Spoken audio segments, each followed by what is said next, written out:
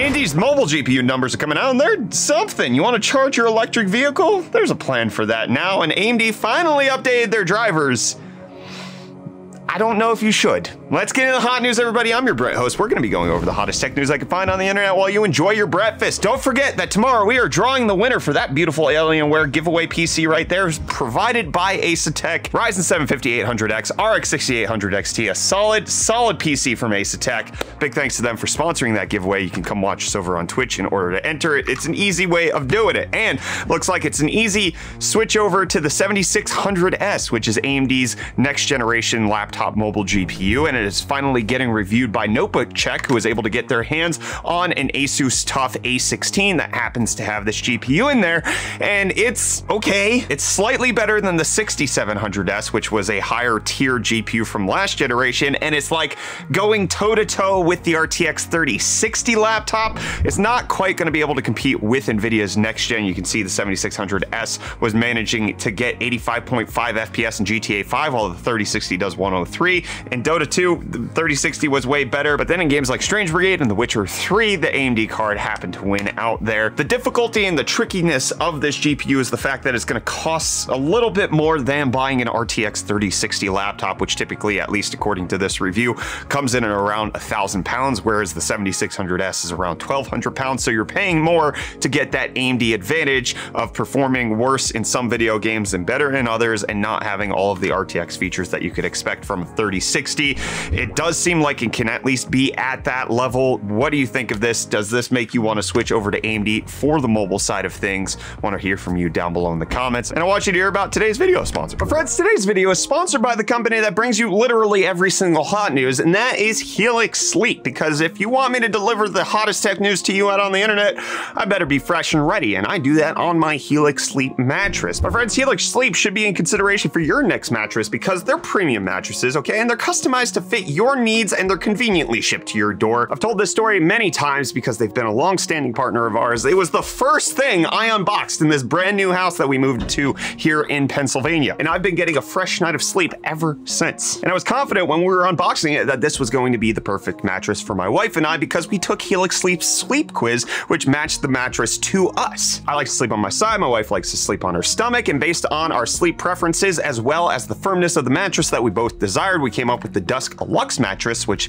has been a perfect fit for us. And you'll be able to actually get a perfect fit for you as well. One of my favorite things about the Helix Sleep mattress is that even after almost two years of us having it, it has not degraded in quality whatsoever. I still love every single night of sleep that I get on it. And I think you will too once it's delivered directly to your door with free shipping in the United States. It comes rolled up in a box and it's super easy to set up. You don't even really have to worry about it. And you don't have to worry about whether or not you like it because number one, you take that sleep quiz, you get a match to you, but in case you don't, they have a 100 night sleep trial. So you can test out the mattress, make sure you love it, make sure that you're good to go, and then feel safe at night knowing that you're being cozied up to by the perfect Helix sleep mattress. They also have a 10 year warranty, which is gonna give you that confidence across the long term. They've got financing options, they've also got flexible payment plans, so you have every reason of taking a look at this and trying to pick one up for yourself. And you could use our link in the video description, helixsleep.com forward slash UFD Tech, which will give you 20% off your Helix mattress plus two free pillows. I've used those dream pillows in my bed, in the car, across the country, and in Los Angeles and New York.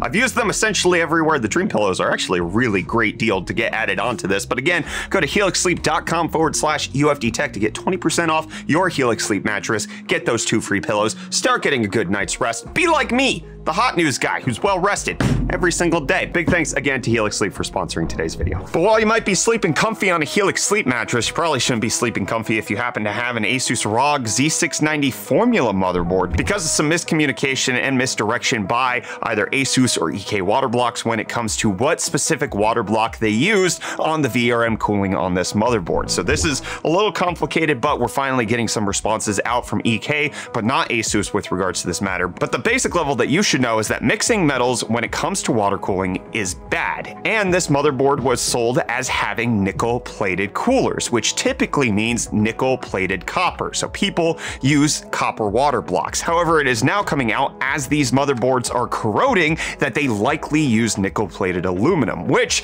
would be fine if it was disclosed. However, it wasn't. And it gets even worse because EK sold an accessory, a bridge for this motherboard, and they made that out of nickel plated copper and not nickel plated aluminum. So the official supported accessory made by the exact same company caused corrosion because it had mixed metals in it. EK coming out with a statement saying that this is happening, no explanation as to how they probably had some sort of oversight that they provided a different situation when it comes to the VRM cooling on this motherboard. But this is a very expensive motherboard for something that is going to be a high-end purchase for a lot of people, especially with custom liquid cooling. And you can see pictures that were uploaded up to the TPU forum where this motherboard was only used for 10 days. And you can see the corrosion that was happening because of the bad communication by Asus and EK on this motherboard. So in case you have that, maybe watch out for it, or let's just make sure to hold companies accountable when they do make oopsies and they get these motherboards and water blocks replaced because they honestly should replace the rest of the loop. They should replace the things that got corrosion in them and not just the parts that they potentially made wrong. And it was wrong for Reece to leave me, and it was wrong for him to not bring UFD deals yesterday. Hopefully he's a better man today. Hey friends, welcome back to UFD Deals. We're bringing the hottest tech deals out on the internet. Today we're jumping straight in with the Logitech G Pro mechanical keyboard. The cheapest way to pick this up is to grab the official League of Legends edition for $59.99, which is 54% off. If you don't mind the branding everywhere, you get a solid keyboard for the price and you can actually pick up a matching peripheral set for similar discounts. And then secondly, we have this MSI Mech Radeon RX 6750 XT. You can currently pick this up for $371.99 with the promo code and the $20 rebate. I think the MSI Mech range looks great, it fits in almost any build, and at this discount, it's the lowest price in 30 days. And then lastly, we have the Asus ROG Strix Scar 15 gaming laptop. With its 15.6 inch 240Hz 1440p IPS display, NVIDIA GeForce RTX 3070 Ti, an Intel Core i9 12900H, 32 gigs of DDR5 and a 1TB SSD. You can currently pick this up for 1799.99, which is $700 off. And that's it, those are the deals for today. You can find the links to these and more in the video description down below. And until next time, I'm gonna hand you off back to Brett for the rest of your hot news. Cheers. And I want to bring up another UFD deal that maybe Reece didn't get to, and that is Green Man Gaming currently has Returnal for PC, but they have it at a 10% discount to make it a little bit off. It launched on PC yesterday. The reviews that I'm seeing is that if you have a decent PC, it's going to be able to perform well. If you have a slightly lower end PC, there's going to be a little bit of stuttering, but this is by far one of my favorite games to come out for the PlayStation 5. I'm excited to see that's here on PC. But just like Sony is doing some cross-platform support for their games, it looks like Tesla is going to be part of the cross-platform support when it comes to charging electric vehicles. This is being part of the Biden administration rolling out a plan to get more robust EV charging across the United States, including a $7.5 billion plan to install half a million EV chargers on the roads by 2030. And part of Tesla getting some of this money is the fact that they're actually going to be opening up their chargers to non-EV vehicles, despite the fact that this legislation is supposed to require CCS chargers, which Tesla does not use because they're opening it up and making it so that you can have a user-friendly experience on the app by the end of 2024. They're going to get a cut of that infrastructure bill to help make sure that EV charging is a little bit more robust across the United States. And a lot of people were calling for AMD to make their driver support more robust when it came to their RX 6000 series GPUs. It was reported a while ago that AMD had for over several months not released a brand new driver for the RX 6000 series and was focusing only on their brand new 7900 XT and 7900 XTX. And that has finally changed because they have finally dropped driver updates for their previous graphics cards and